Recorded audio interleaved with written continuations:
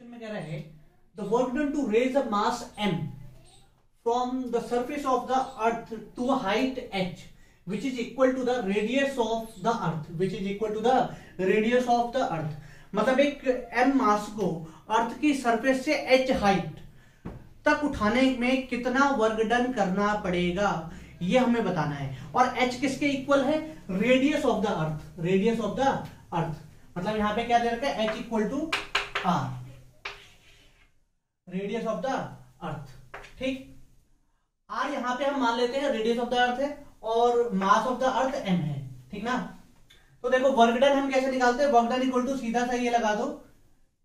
W equal to U final minus U initial ठीक ना? U final minus U initial यहाँ पे वो नाइन्थ क्लास वाला तरीका मत लगा देना कि U equal to M G H U equal to M G H मतलब ये work done equal to M G H क्योंकि ये तब लगता है जब जी की वैल्यू कांस्टेंट होती है। ठीक ना? जी की वैल्यू अगर कांस्टेंट है, तब हम ये लगाएँगे। यहाँ पे ऑब्जेक्ट को कहाँ लेके जा रहे हैं? अर्थ की रेडियस जितनी अर्थ की रेडियस कितनी? सिक्सटी फोर हंड्रेड किलोमीटर तो उतनी हाइट पे लेके जाएँगे। तो जी की वैल्यू चेंज होगी। तो जी की वैल्यू जब भी चेंज होती है तो वहाँ पे एनर्जी कंजर्वेशन काम आता है। वहाँ पे सीधा एमजीएच नहीं लगा सकते कि work done equal to MGH ये नाइन्थ में ऐसा हमने पढ़ा हुआ है। W equal to M G H earth के सरफेस उठा के किसी एच हाइट पे रखने थे वो इसलिए लग पाता है क्योंकि एक्सलरेशन ड्यू टू ग्रेविटी जो है, वो मतलब 10 किलोमीटर की हाइट तक लगभग सेम रहती है, ठीक ना? उसके बाद वो वेरी करना शुरू करती है। और उसमें भी हाइट कितनी है? 6400 किलोमीटर। तो जी की वैल्यू में ज़्यादा वेरिएशन आएगा, ठीक ना? ये क्लियर तो इसीलिए मैं ये फॉर्मूला नहीं लगा सकता वर्कडन के लिए कि एम जी एच रख दू एच की जगह आ और सीधा ऑप्शन क्या हो जाए? डी ये गलत है। ये तब लगेगा जब जी की वैल्यू कांस्टेंट होगी।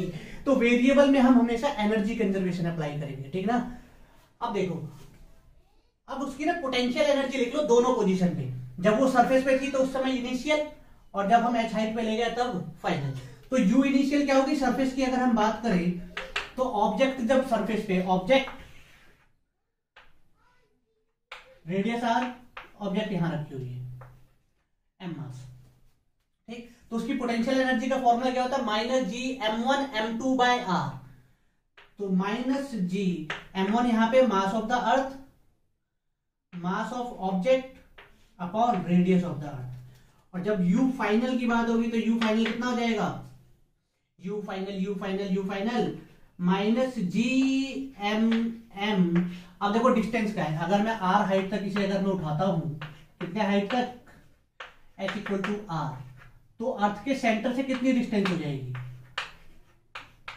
टू आर ठीक ना? अर्थ के सेंटर से टू आर तो पोटेंशियल एनर्जी फिर लिख लो, यहाँ पे क्या आ जाएगा? टू आर अब वर्क डन इक्वल टू क्या होता है? W equal to U final minus U initial तो यू फाइनल कितना है? Minus G M M by two R minus minus G M by R G M M by R ये हो जाएगा हमारा वर्क डन ठीक? माइनस माइनस प्लस हो जाएगा, ठीक? G M M by R ये तो कांस्टेंट है तो बाहर आ जाएगा। G M M by R ये कांस्टेंट है। ब्रैकेट में क्या बचा ये माइनस का वन बाय टू और यहाँ पे प्लस का वन रहेगा। तो one minus one by two इसे लिख सकते हैं। ठीक? जी एम इक्वल टू क्या होता है? जी आर स्क्वायर हमने पढ़ा हुआ है, छोटे जी और बड़े जी में रिलेशन क्या होता है? G M equal to G R square ठीक? तो यहाँ रख देते जीएम की जगह पे। तो डब्ल्यू इक्वल टू क्या हो जाएगा? G R square M by R one by two एक आर से एक आर कैंसिल तो डब्ल्यू इक्वल टू कितना आ जाएगा? M G R by two तो इतना वर्क डन करना पड़ेगा हमें, ठीक ना? M G R by two clear M G R by two option B